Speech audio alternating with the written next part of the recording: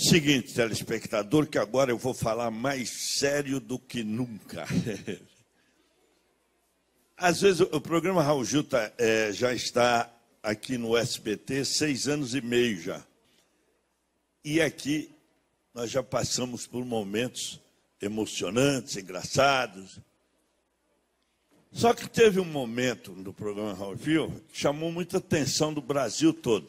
E todo ano, não é hoje, ontem, antes de ontem, todos os anos eu recebo um pedido, agora no WhatsApp, pedindo para que eu relembrasse um momento que foi muito emocionante, principalmente senhoras, donas de casa, famílias pedindo, que foi muito emocionante no programa Raul Gil.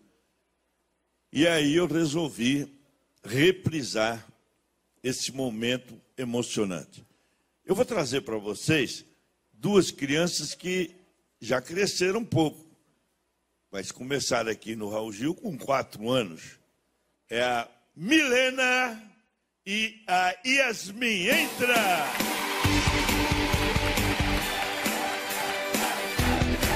Milena! Yasmin! Vocês agora sentem, toda aí no palco, aí, senta toda. Vocês trazem o banquinho aqui. Olha como tá uma moça Yasmin, caramba! Boa tarde, auditório! Olha, Milena, como tá grandona! Boa tarde, auditório! Senta, Milena, senta aqui e a Yasmin aqui, ou qualquer, qualquer lugar.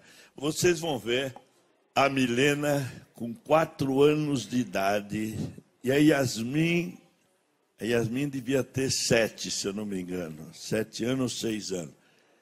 Eu estou trazendo para vocês esse vídeo do programa Raul Gil, foi um dos momentos mais emocionantes. E muita gente, muita gente pedindo internet, WhatsApp, muita gente pedindo na rua. E eu vou reprisar atendendo a pedido de Olha, pode ver milhares de pessoas do Brasil inteiro. E vamos recordar um momento de muita emoção com a Milena e a Yasmin. Vamos lá no telão. Fica mais um pouquinho aqui, tá? Ah, não, quero que você vá. Fica mais um pouquinho. Pergunta para o auditório se eles querem. Vocês querem que eu fique mais um pouquinho? Só se, só se você contar aquela história da Bíblia, senão não dá. Tá bom. Tá bom? Tá. Tem só, tá, fala, tem só auditório? Vocês querem? É? Não, fala, tem só auditório. Atenção, auditório. Eu vou contar aquela história da Bíblia. Eu vou contar aquela história da Bíblia. Vai, fala então. A Bíblia está cheia de histórias de pessoas que fizeram Deus ficar muito feliz. E esta é mais uma delas.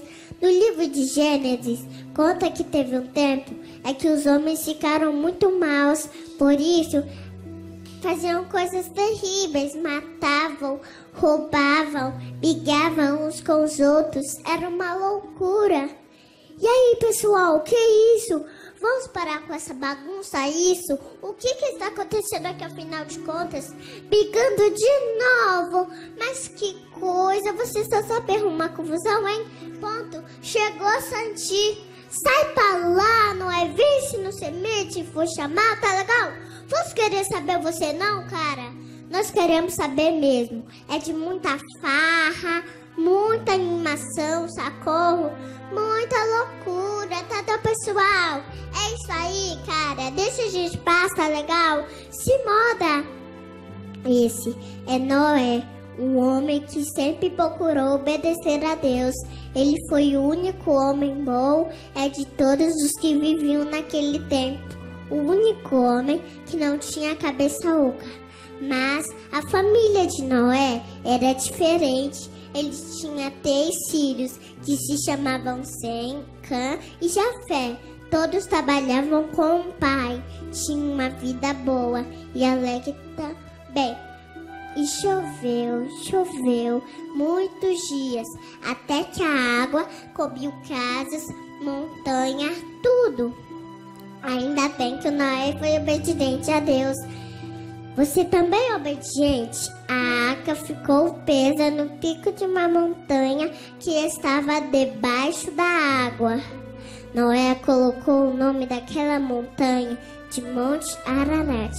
Apesar de todos os louvores do dilúvio, Deus estava alegre porque o Noé o obedeceu. Por isso, a terra seria povoada de novo e ele poderia se alegrar novamente com a sua criação.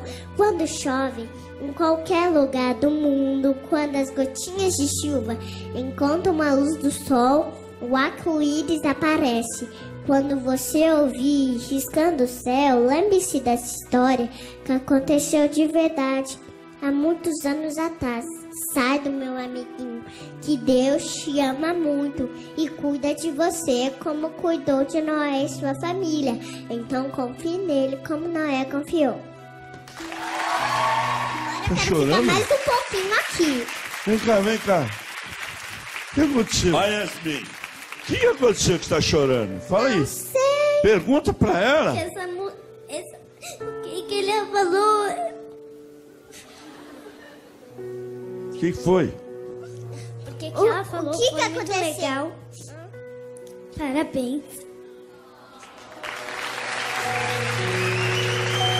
Você quer orar pra ela também?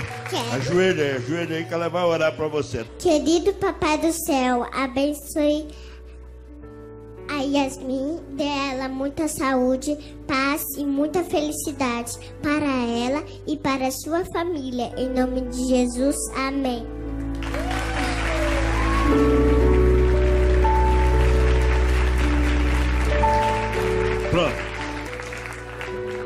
Que a mãezinha da, da, da- tá, tá doente, né?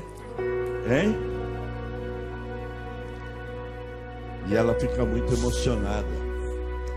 Ah, ela fala de Deus, e aí mexe muito com ela, porque a mãezinha dela tá bastante doente.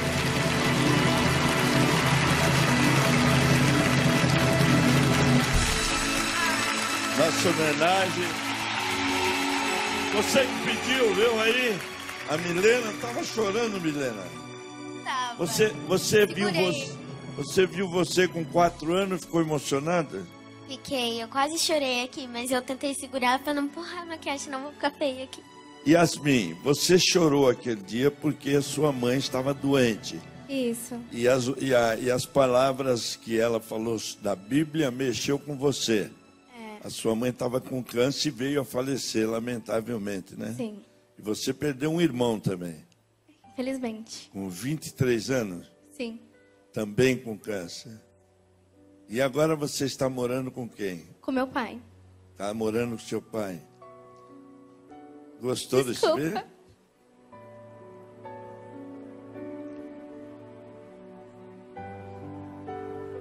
Muita gente queria saber por que, que a Yasmin ficou tão emocionada com as palavras que a Milena falou sobre a Bíblia. E agora vocês estão sabendo que, lamentavelmente, a mãe dela estava com câncer e veio a falecer. E em seguida o irmão também, né? Foi, ah, vai, fazer um ano já. É, Foi o mesmo problema que minha mãe, né? Você está morando com seu pai, Sim. está estudando. Tô, graças a Deus. Você está morando no mesmo lugar que nós fizemos Não, sim, na mesma cidade, Santa Isabel. mesma cidade. Como é o Sim, nome? Santa Isabel. Santa Isabel. Vai se formar aqui? Em, é, na medicina. O Medicina. meu sonho. Parabéns. E você Obrigada. se viu aí, olhou para você com quatro anos, nem acreditou que era você? Não, Hein? não. Tá tão diferente, né? Caramba, e você fala essas coisas todas na igreja, no seu programa? Falo, eu já, já, já prego lá já nas igrejas. Tá pregando convidam já? É mesmo? Você é a menor pregadora de. de ou, ou tem mais criança? É, às vezes tem gente mai- menor que eu. Mas não tem nenhum problema, né? Porque pelo menos nós falamos de Jesus do mesmo jeito. Tudo. Valeu. Bom, eu queria justamente trazê-las para mostrar esse momento de muita emoção no nosso programa e explicar para muita gente que não sabia, por que a Yasmin estava chorando. Agora você já sabe. A Yasmin está batalhando, está morando com o pai dela, perdeu a mãe, depois perdeu o irmão, com quantos anos? 23 anos. 23 anos. Isso. E ela agora está morando com o pai. E a Milena continua em Curitiba e fazendo programa em São Paulo, né? É. Você vem para São Paulo todo mês? Vem. Agora, como eu já fiz vários programas há uns meses atrás, eles não estão mais me chamando porque já tem bastante programa, entendeu? Mas você está gravando disco não?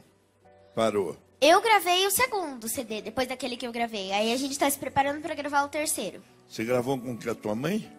Não, esse daí foi eu mesma, Mundo Colorido. Mas você está cantando com a tua mãe também? Tô, a gente Na igreja canta. se canta com a tua mãe? Canto. Então tá certo. Levanta aqui, levanta Yasmin. Por favor. Por favor.